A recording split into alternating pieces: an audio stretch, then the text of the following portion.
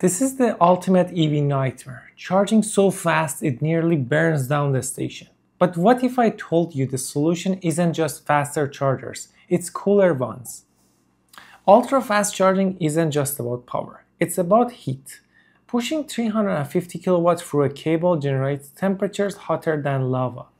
Without cooling, cables melt, batteries degrade, and chargers fail. But engineers found a fix stolen from NASA.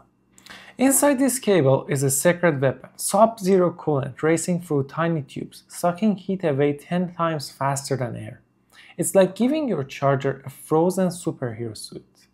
Porsche's Taycan can gulp 62 miles of range in 4 minutes, thanks to liquid cooling. But China's Huawei just smashed records with a 600 kilowatt system that charges a semi-truck in 15 minutes. How? Their cables are basically ice cold. Forget cars. Imagine charging a 40 ton electric truck in 10 minutes. Megawatt chargers are coming, and liquid cooling is the only way to handle 3750 amps without turning into a volcano. Without liquid cooling, we would hit a brick wall at 150 kilowatt. Now sky is the limit. But here's the catch. Liquid cooling adds cost, complexity, and leaks. One faulty seal could fry a $50,000 charger. Companies like Tesla are racing to make these systems cheaper.